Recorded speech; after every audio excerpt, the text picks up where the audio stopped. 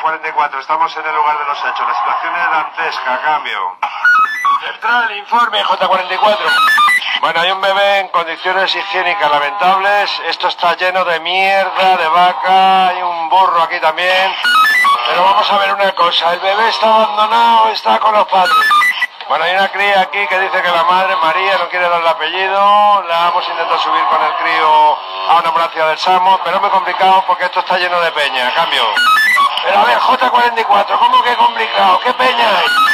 A ver, Central, no te la tomes conmigo. Hay un tío aquí que es carpintero que dice que es el padre de la criatura. Está indocumentado. Luego hay tres clandestinos que llevan sustancias sospechosas. Dice que tienen estatus diplomático y que actúan en nombre de Dios. Para mí que esto es una operación de Al Qaeda o de ISI. Por favor, mandar refuerzo de una puta vez. Corto y fuera.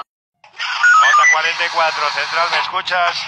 Sí, adelante, J44. Vamos a ver, estamos con la chiquita, esta adolescente, con María, la hemos traído al hospital de Belén, acaban de hacerle una exploración ginecológica y dice la comadrona que es virgen.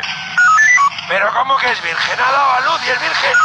A ver, Central, yo te digo lo que me cuenta la comadrona, ella la van a pasar de un momento a otro, psiquiatría porque delira con una paloma, no sé qué mandan que me han contado.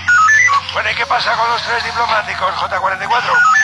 Las sustancias que les hemos intervenido dicen que son para consumo propio, pero es que vienen con tres camellos, Central.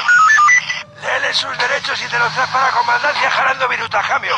Pero Central, ¿qué más? Es que dice que los ha traído engañados un hombre con una túnica blanca y dos alas en la espalda que les ha obligado a que siguieran una cometa, no sé qué. J44, un hombre con dos alas en la espalda. Guárdame algo del pacharán ese que estáis tomando, anda. ¡Qué cabrón!